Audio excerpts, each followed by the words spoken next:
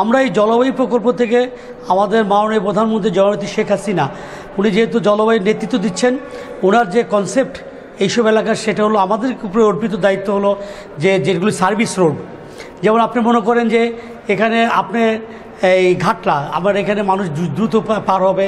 তারপর আপনার মনে স্কুল, কলেজের যে, যারা শহর নগরায়ণের সুবিধা পায়, পাশাপাশি আমাদের মাটির যে রাস্তাগুলো ছোট, এগুলো আমরা ষোলো ফিট করে দিচ্ছি। আর এখানে আমাদের সার্ভিসটা রয়েছে অংশীদার ভিত্তিতে। এখানে আপনি মনে করবেন যে আমাদের পঞ্চাশ শতাংশ জনসংখ্যা মহিলা।